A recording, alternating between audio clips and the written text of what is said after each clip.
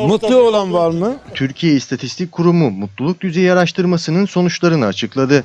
Buna göre en mutlu iller arasında ilk 3 sırada Sinop, Afyon ve Bayburt yer alıyor. En son sıralarda ise Tunceli var. Antalya ise mutsuz iller arasında ilk 4. sırada. Peki Antalyalıların mutsuzluğunun sebebi nedir? Aslında Türkiye'de son dönemde mutsuz insanların oranının giderek arttığını düşünüyorum.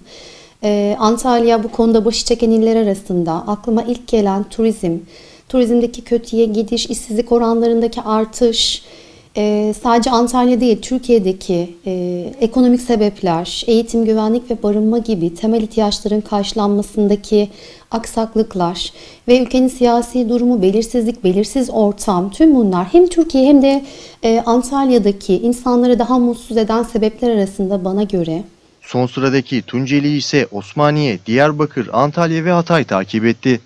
Arada aslında çok önemli bir ayrım var. E, Çünkü kişiyi mutsuz eden faktörler sanki sadece e, olaylar, kişiler, hani yaşamla ilgili faktörler gibi, çevresel faktörler gibi. Antalya'da mutsuz olanların oranı %49.79 olarak açıklandı. TÜİK verileri böyle söylüyor ama vatandaş gerçekten mutsuz mu ya da geleceğinden umutlu mu? Mutlu musunuz? Maalesef. Neden mutsuzsunuz? Parasızlıktan. Sebebi sosyal yaşamdır, işsizliktir. Mutluluk elde midir? Bunlar bizim- Ekonomik ekonomik sıkıntısı olan kim mutlu mu abi? Birini gösterebilirsen sevinirim. Ya tabii her zaman her şey mutlu olunmuyor ama ya mutluluk bir insanın hakkıdır yaşıyorsa. Yaşıyorsak da mutluyuz yani yapacak bir şey yok. Mutsuzluğun ilk nedeni maddi olsa da bu herkese göre değişebiliyor. E, Evlilik ilişkisinin bozulmuş olması mutsuzluk oranlarını da artırıyor. E, Bu konuda da yine bir uzmana danışmalarını öneriyorum. Peki insanları mutlu kılabilmek için neler yapılabilir? Ben şu an ne yaşıyorum, ne hissediyorum, neler düşünüyorum ve bu sorunun çözümü için ne yapabilirim?